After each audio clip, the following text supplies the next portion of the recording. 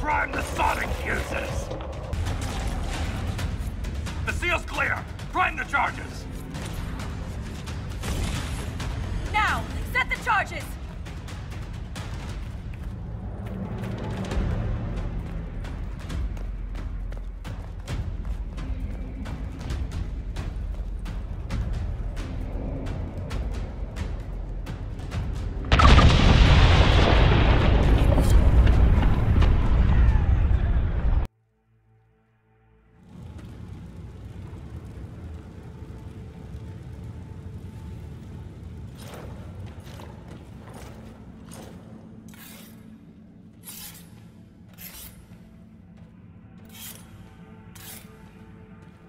Inquisitor, meet Lieutenant Renn, a veteran of the Fifth Flight and one of the Legion's finest commanders.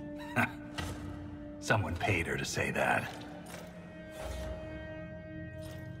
Appreciate the help, Inquisitor. Collapsing that seal bought us time. Blighters had the run of these tunnels for days. Now they have a roadblock. How many deep roads are there? How deep do they go? They'll take you from one side of Thedas to the other, if you have a death wish. The roads once connected dwarven cities that were hundreds of miles apart. Then came the Darkspawn. Renn and I have been exploring this region, reclaiming it, but the work is slow. Mark the map, fight an army, mark the map, fall in a hole, and so on. I get the impression you two have known each other a while. Yeah. The Shaper had sent her to dig up some relics. Asked me to keep her out of trouble. That was three years ago. You can quit any time. Not when we still have things to fight about. For such a small group, your people have held up well. The Quakes took a lot of us. Reinforcements will be slow to arrive.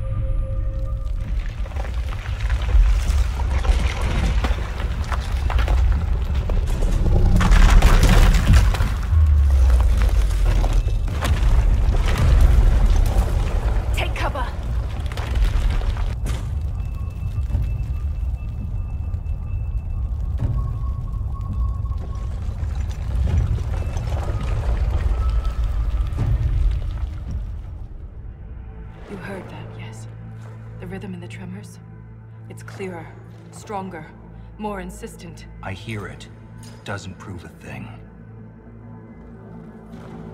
These quakes are not a natural disaster. They're deliberate. There's an... intelligence behind them.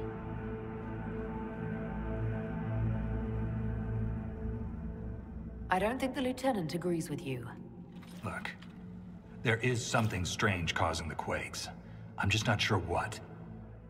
I found an ancient text during an expedition with Renn last year. At the time, it was just a curiosity, but now... The text describes giant creatures, called Titans, living deep underground. They sing in the stone, shaping it. When these quakes began, I believe we heard that rhythm. I believe a Titan is causing all this destruction. I've never heard of Titans before. What else can you tell me about them? The text I found predated the First Blight. Its pages had mostly rotted away. And there's no mention of the Titans in Orzammar's memories. Which tells you something. All I heard was an earthquake. How is it you and Renn hear a rhythm? Our people have a strong connection to the stone.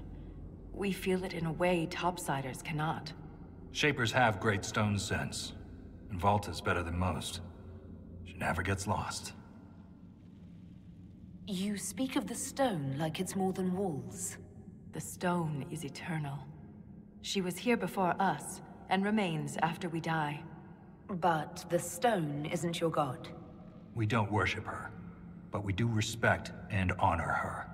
The stone makes us strong, and we return that strength to her when we die. It's difficult to express in words. Mysterious songs often lure people to their deaths, or to an archdemon. This rhythm isn't a song, exactly.